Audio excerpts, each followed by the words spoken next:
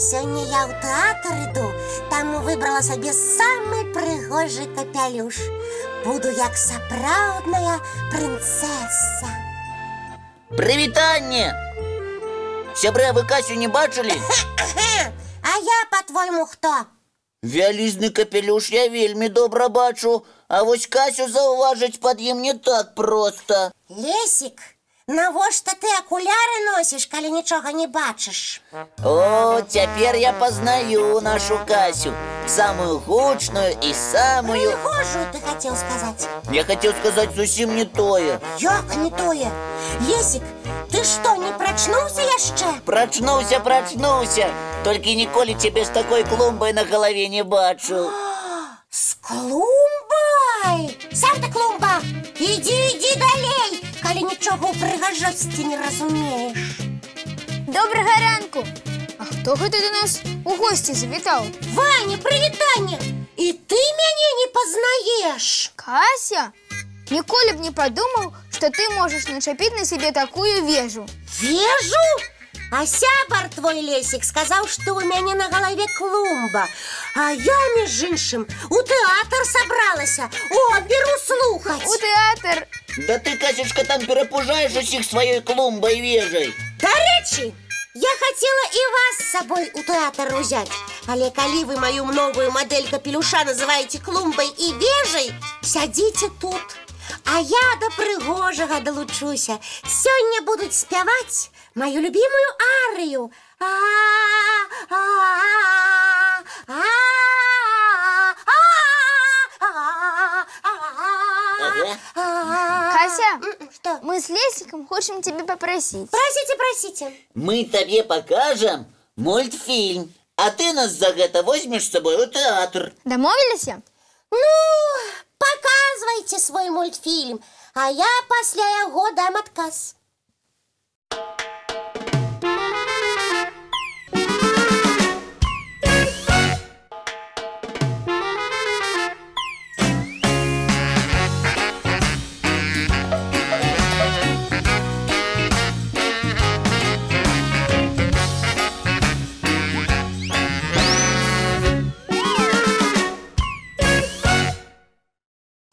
Усё, я вырашыла. Гавары хутчэй, ты бярэш нас з сабой у тэатр слухаць оперу. Я пакуль што не магу гаварыць, таму што нехта мяне не слухае. Лесик, адарвися на хвілінку, калі ласка. Угу. Ой, прабачце, я зачытаўся вельмі важнай інфармацыі. Важнейший, чым мой адказ? Мая інфармацыя таксама вельмі важная, асабліва для тых, хто збіраецца ў тэатр. Лесик заўсёды гаворыць толькі самае важнае і патрэбнае. Ой, амаль што ўпэўнілі. Я паслухаю гэтую інфармацыю вельмі уважліва. Пачынай. І вы, сябры, далучайцеся. Спачатку адкажы, Кася, ты возьмеш нас з сабой у тэатр.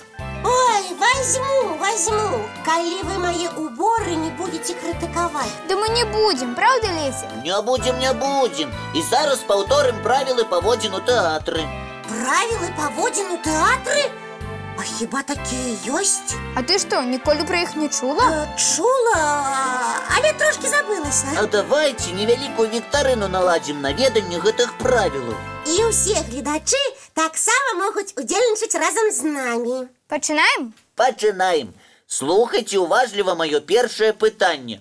У якім адзенні можна прыходзіць у тэатр? Я адкажу я у самым прыгожым, правільна? Не зусім. Як не зусім. У тэатр трэба прыходзіць у прыгожым чыстым адзенні, вядома, не ў спартыўным. Ну, гэта зразумела. А пра капелюшы і прычоскі ў правілах што-небудзь ёсць? А вы, сябры, што думаеце? О, колькі адказаў! Лесік, выберу правільны. Так.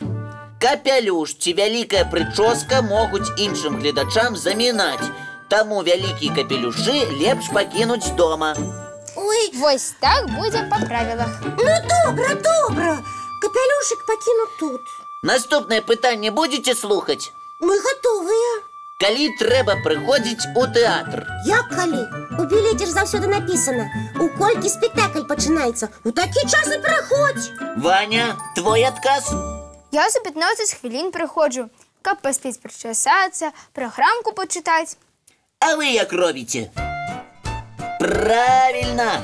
У тэатр усе прыходзяць загадзя, каб паспець і прычоскі паправіць, і па фае пагуляць, і ў зале свае месцы знайсці. Лесик, задавай наступное питание. Так, якую ежу можна ўзяць з сабой у тэатральную залу? Что-нибудь смачное? Шоколадную цукерочку, булочку с повидлом Ты еще чипсы с газировкой возьми. А что? И возьму, буду слухать свою любимую оперу и частоваться своими любимыми присмаками Что? Кася, уяві, што кожны глядач пачне хрумсцець чыпсамі і прысмокваць газіроўкай. Можно и артистов не почуть. Таму лепш за ўсё прысмакамі частавацца пасля спектакля. А разом с тым обмерковать убаченное Правильно я говорю? Правильно, Кася, ці падсілкуецеся ў антракце. А еще не шкодуйте аплодисментов для артистов. А кветки можно дарить? Вядома, колькі хочаш. Здаецца, галоўныя правілы паводзін у тэатры мы паўтарылі. А зараз самы час паглядзець мультфільм.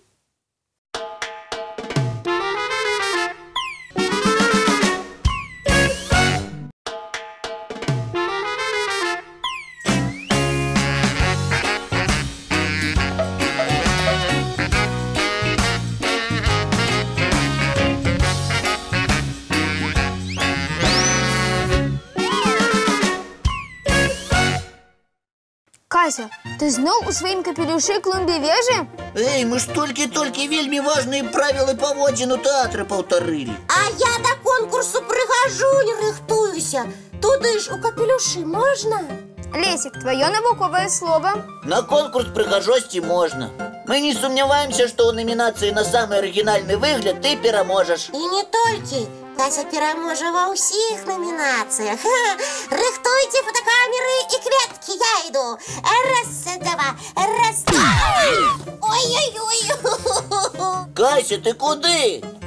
Лесик, дапамагай нашу модель на место поставить. Ой, ой, дякую Фу. Что, Кася, не так просто с такой прихожестью на голове ходить? Ага. Спецыяльныя практыкаванні для гэтага ёсць. І ви їх ведаєте? Вядома, і табе, і нашим глядачам мы зараз про іх расскажем. Ну? Эу, ты что робишь? Ты ж сама просила практикаванне показать. Правильно показать, а не книжками не протискать Добра, практыкаванне я покажу сам. Кладем книжку на голову, руки на пояс і спрабуем зрабіць некалькі крокаў. Нялёгкая гэта справа. Я давно не тренировался, тому не адразу можа атрымацца. А з гэтай книжкой так долго ходить трэба Колькі хочаш, столькі і хадзі. Галоўнае, каб па адной лініі з роўнай спінкай. Так тренируюць каралеўскую постаць. А потым любы капялюш, нават самы незвычайны, можна без усялякіх цяжкасцяў насіць. Ваня, Давай сюды свою книжку Пачну практыкаванне для королевской постаці У мяне другая прапанова. Давайте мы зараз праверым, ці ўсе кніжкі і сшыткі мы склалі ў школьныя рюкзакі. А королевские практыкаванні? Адразу пасля урокаў усе згодныя. Я дома. Таму зараз пажадаем усім добрага дня і сонечнага настрою. І не забывайцеся, сябры, што мы зноў сустрэнемся ў нашым дабраранку. А цяпер яшчэ адзін ранішні падарунак Мультыплікацыйны!